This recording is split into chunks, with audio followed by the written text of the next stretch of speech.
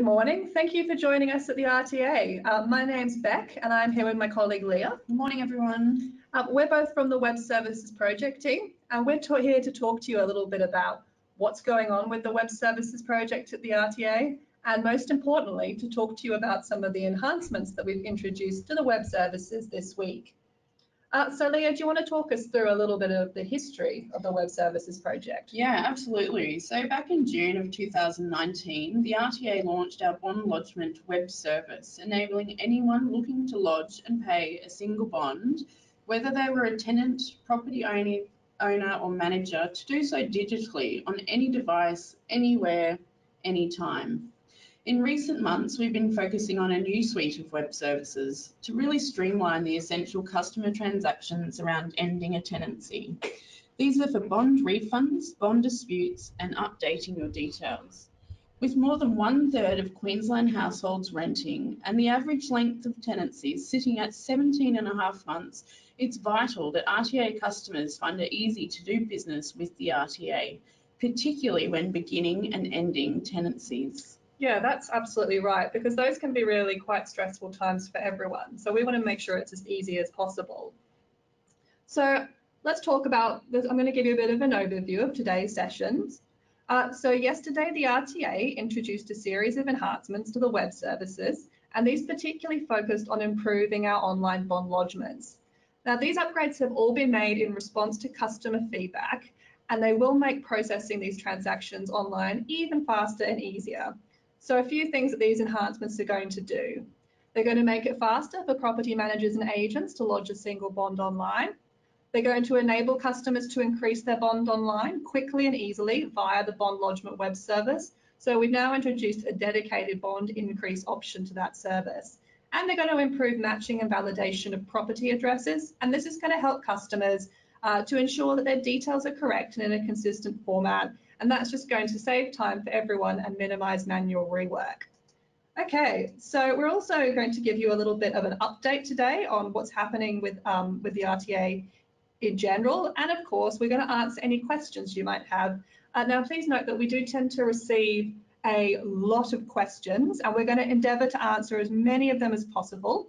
If your question um, isn't answered at the end of this and it's urgent, please call our contact centre and they will be able to help you. And just to note that we do have a question session at the end. So if you're asking questions during the presentation and we're not answering, we're not ignoring you. We're just to have that session at the end. So I'd like to find out a little bit more about who's with us today. So we're just going to launch a poll. Um, and can you just tell us which group in the rental sector you belong to? All right, you'll see that poll. It's a blue box on your screen. Just going to give you a bit of time.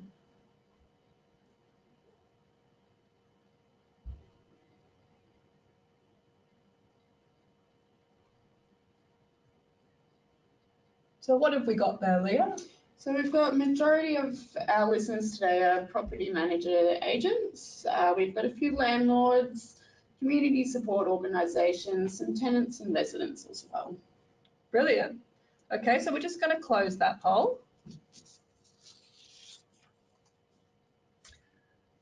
So a little bit more information about the web services journey so far. So we've processed um, over 50,000 bond lodgements and more than 12,000 bond refunds through our web services already, which seeing as um, they haven't been live for long is a huge amount, wouldn't you say, Leah? Absolutely, it is. Um, so already web services account for 40% of bond lodgements and over 60% of bond refunds, which is really great. Um, so 90% of customers who fed back to us about the bond refund rated their experience as positive. 75% of customers who rated their experience of launching a bond through the web services rated it as positive, so it's a little bit lower.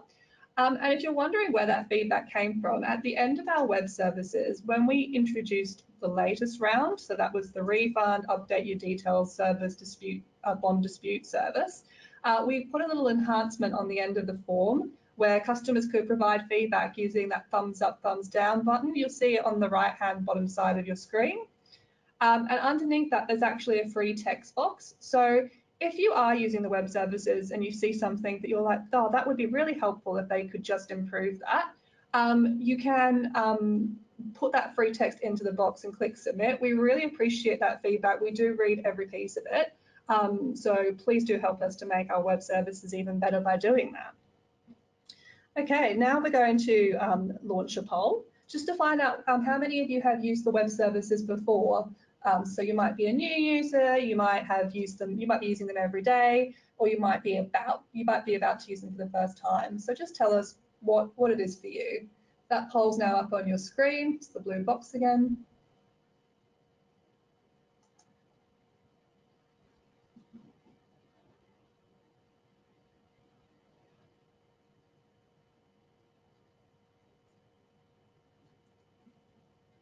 So we're getting some really fantastic results here. We're seeing at least 75% of our listeners are already using our web services, which is really fantastic. Well, excellent. Well, while most of you are already using the web services, just a little note for the few of you who aren't um, about how to access the RTA web services. Um, so we've taken you through that process on the screen. So you'll start off at the RTA website where you'll be able to say what you want to do through web services. So for example, you might want to lodge a bond, refund a bond, update your details. So you click on start now and that takes you to the RTA's terms and conditions. Have a read through those and um, if you're happy with those, agree to them and proceed. And then you'll be taken to the QGov page. Um, now, the QGov um, registration page basically is a digital identity verification service. Um, from the Queensland Government. It is your substitute to a signature on a paper form. So what you need to verify your identity there is 100 points of ID and a unique email address. Um, please note that it does need to be a unique, not a shared email address. QGov will not accept it if it's um, if that email address has already been taken by another customer. So property managers, just a little note for you that you'll need to log in with for want of a better word, your personal work email address. So for example, that would be like rebecca at ljhooker.com. Um, but once you have logged in and verified your identity through QGov, we will send all of the um, correspondence to the main email address that your organisation has registered with the RTA. So if you're wondering which email address is that, just ask around in your organisation and say, where is the RTA sending all our emails, our acknowledgements of rental bonds, etc. You'll soon figure out that's the address you need. Um, and you can find out more about QGov or web service requirements on our website. And if there's any problems with it, you can give our contact centre a ring. So the web service enhancements, let's talk about what is new. So this is the RTA ID field. Leah, would you say it's the most exciting thing? This is really going to improve our customers' uh, use of the form and make time much faster for them lodging their lodge, uh, bond lodgements. Yeah, absolutely.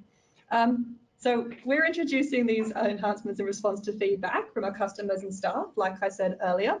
So basically what we heard from property managers and agents who were lodging multiple bonds through the RTA web service was that it was really frustrating and time consuming that they had to put in their organisation's details every single time they wanted to lodge a bond online. So we've listened to that and now as you'll see on the screen it's gone from this on the left hand side to this. So all you need now to log in is your organisation's RTA ID and you just need to provide that main email address that we have on record for your organisation. So like I said, if you don't know what it is, find out what the main email is that we're sending all the correspondence to. That will be the that will be the one. And a little note, we're going to talk more about this, but our joint lessors will, all, will also need an RTA ID. All right. Um, so where do you find your RTA ID? Well, um, firstly, let's talk about who needs one. So if you're an agent applying for a, um, using the web services on behalf of an organisation, you need an RTA ID. Joint lessors and tenant organisations also need an RTA ID. Single property owners and tenants and residents, you don't need an RTA ID. And one thing, we're going to talk about bond increases in a second. So if you're doing a bond increase, just remember you're going to need your bond number. That's the sort of the one piece of information that's different between a bond lodgement and a bond increase. Um, where can you find that RTA ID? Some of you might be wondering. Well, good news, we did a mass email out to everyone who needs one yesterday. Um, it was titled Important Knowing Your RTA ID and to access web services. So check your inbox for that. Uh, we did another email blast in uh, November, so you should have also received it then. So do a search in your organisation's main inbox for RTA ID and you should hopefully find it pretty quickly. Um, what, what do you do if you're a new organisation, Leah? So if you're a new organisation and you haven't interacted with the RTA via the web services yet, you can actually go online and select update your details to create a new RTA ID. Once we create that new RTA ID for you, we will send you an email providing you with that ID. Brilliant. So another thing that we've in, we've improved is we've just made our our address matching criteria a bit smarter. So Leah, can you tell us a bit more about that? Yeah, sure. So we've really improved the functionality of this uh, address matching. Uh, it's now a much more intuitive form, and this is to help assist our customers entering their property addresses into the web services in the right format.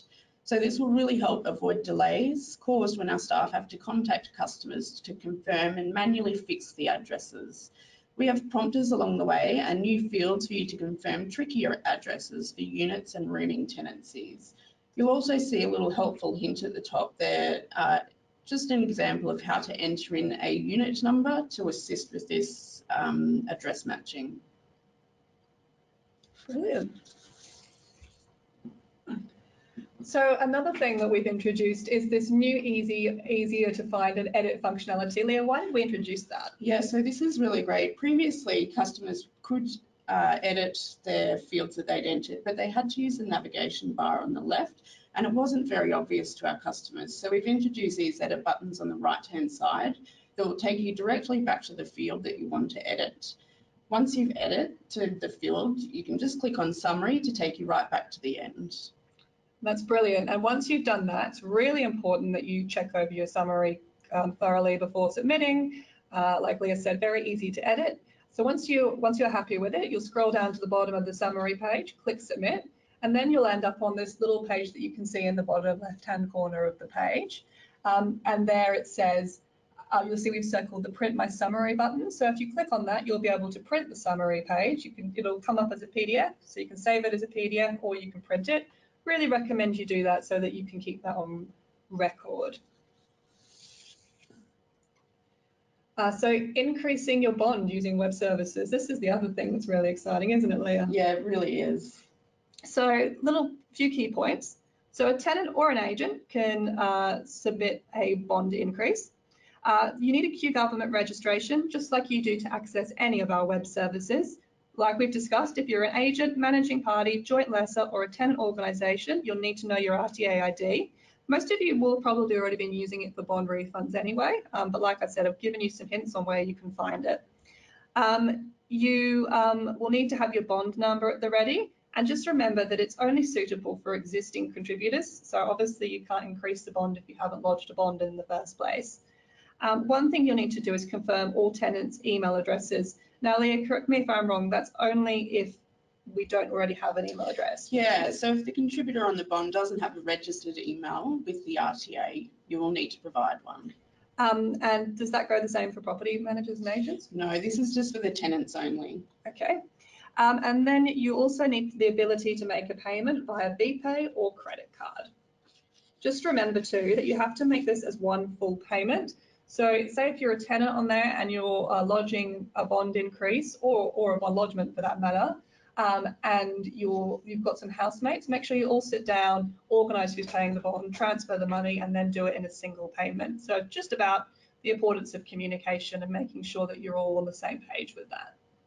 Um, so Leah's now going to talk us through um, what it looks like with a bit of a video. Uh, Leah's just going to talk us through it now. Thanks, Beck. So my colleague Beck has already talked you through what you'll need to log into QGov. If you want more information about QGov, check out our website. For this demonstration though, we're going to assume that you've already created a QGov account and logged in. So once you've logged into the RTA web services through QGov, you'll then arrive on the bond lodgement web service before you begin page, where you'll be asked to provide information about the property and your role in the tenancy. You'll need to confirm your details and provide a contact number for either yourself or the contact person for the lodgement. There's also an option here to provide us with your preferred name if this is different from your legal name.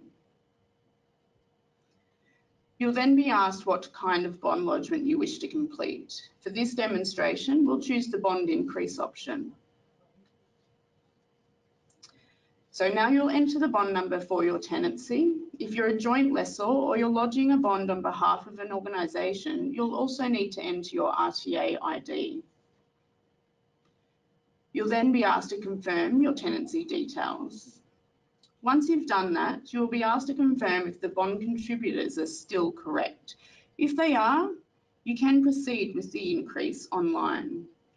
If the contributors have changed, you won't be able to continue online and you'll need to download a paper change of bond contributors form, which you can post to the RTA.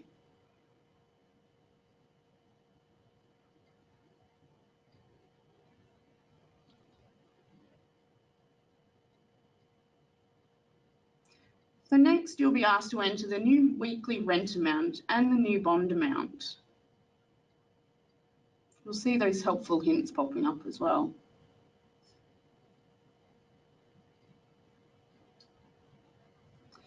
You will then need to confirm the tenant contribution amounts. You can choose to either split the bond increase equally or delegate different amounts to each tenant. You will then be asked if the end date of your tenancy has changed. If it has, enter the new end date.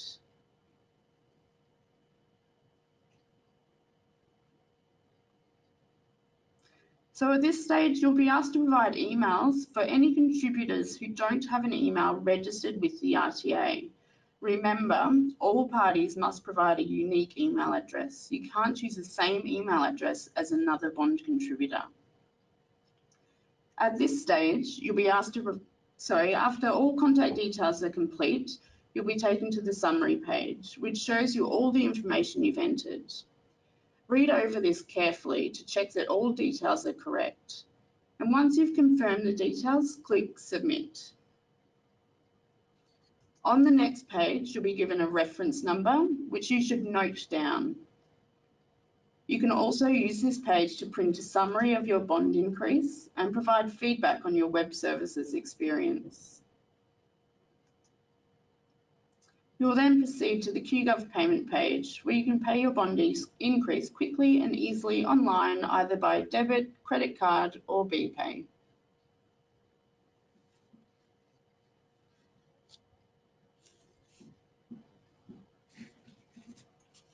Okay, so now we're just going to talk a little bit about tenancy legislation.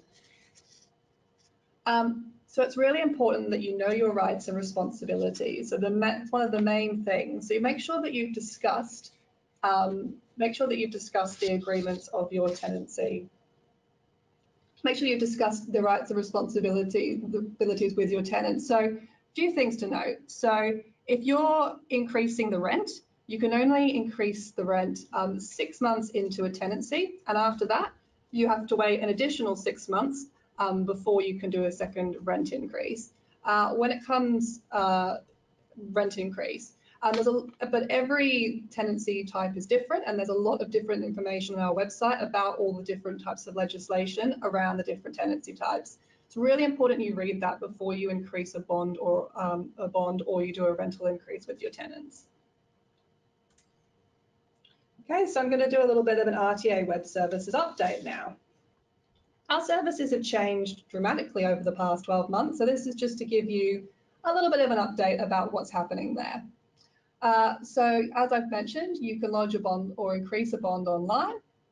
Um, unfortunately, you can't lodge a bond with a DHPW loan uh, via the web services, but the good news is you can use the web services for a refund there.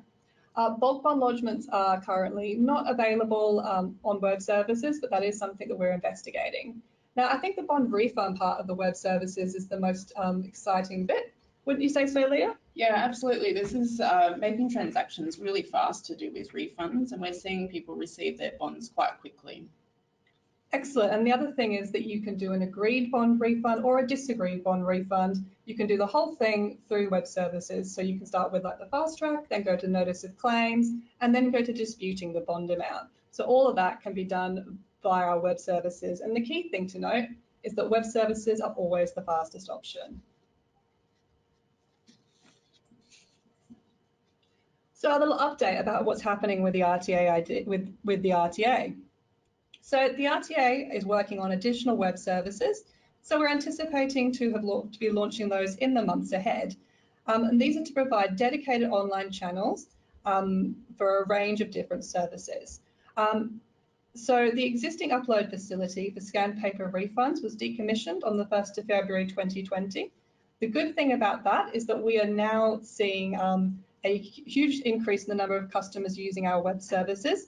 Um, and people are using those web services really quickly. Like I mentioned, we've got that 90% positive feedback on the um, bond refund web service.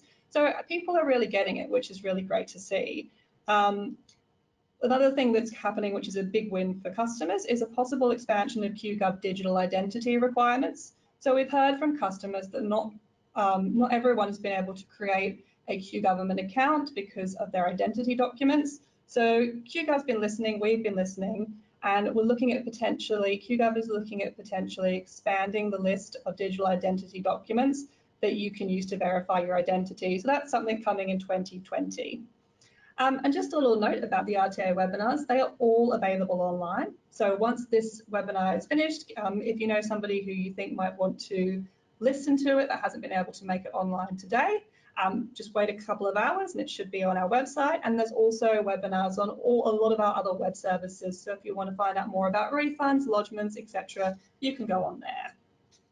And just a little note, the next webinar we're going to be doing is on the 25th of February, and it's all about water charging. I'm going to be telling you a little bit more about that shortly.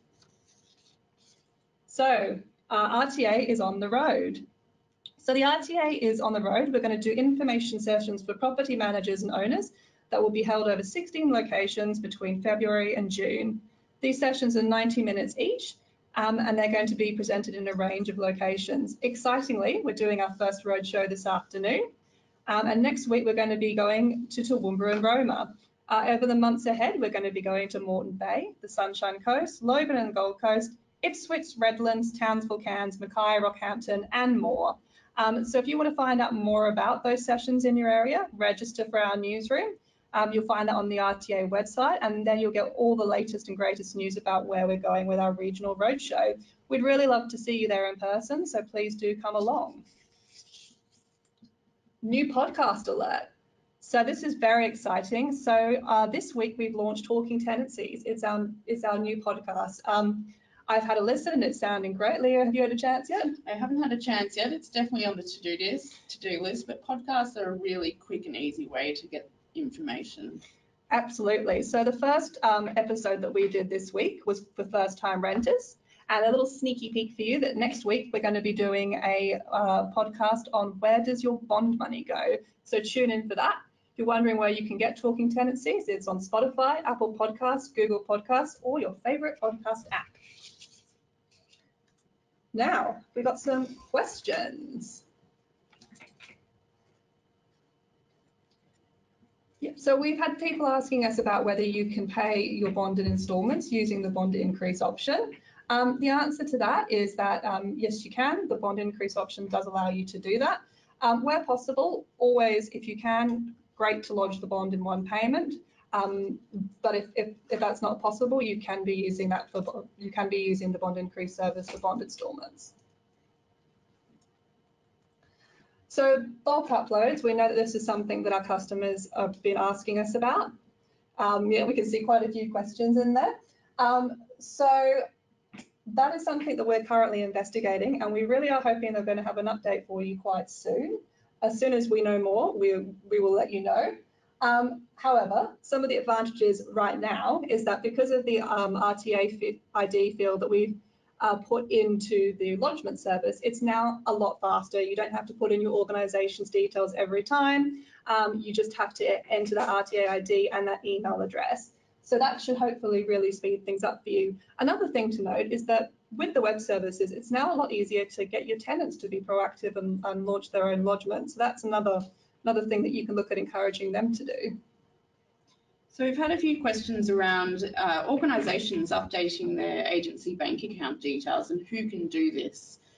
So anyone authorised on behalf of the organisation can do this, but they must have access to the registered email address that we have with the RTA, the existing registered email address. This is because there's a two-step authentication process when updating the organisation's details and you'll receive a verification number that you must enter into our system within 10 minutes. It does expire after 10 minutes. Once you receive this and enter it, you can then go forth and update any details for the organisation. So we've had a few questions about uh, Form 2Cs, so bond loan, bond lodgements with the Department of Housing and Public Works. So at this stage, we cannot do these through the web services platform. These will need to be uh, posted into us or emailed just as they are now. Okay, and we've also had quite a few general questions about refunds and how the uh, refund web service works. So um, you can go onto our website and we have a huge list of FAQs on there in our bond refund web service that you can answer. You can also watch a video online um, which will give you more information. And we did do a webinar as well about bond refunds, so it might be good to go back and um, have a look at that. So we've had a few questions here about what if the tenant doesn't have an email address, Beck? Yeah, so the important thing to remember is, firstly, if the tenant doesn't have an email address because it, it may be because they just haven't provided you with one. So firstly, give them a ring and just make sure that it is the case that they definitely don't have a unique email address. If they don't, this is one of the big reasons we've kept those paper forms. So you can still, and um, you'll always be able to print off those forms, fill them in, um, and post them to us. So we have made sure we've got options for those tenants who don't have email addresses. But like I said, really important that as a first step you check with them because you might just find they haven't provided you with one. And just a reminder to, um, to check your emails for the RTA ID.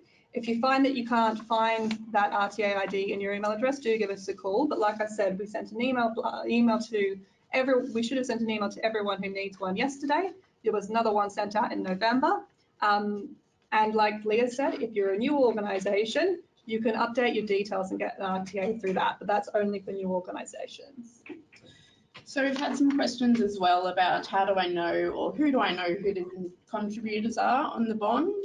So if you are currently registered through eServices as an agent, you still have access to log in through eServices to view those details. This will then help you going forth and doing the uh, bond increase and online.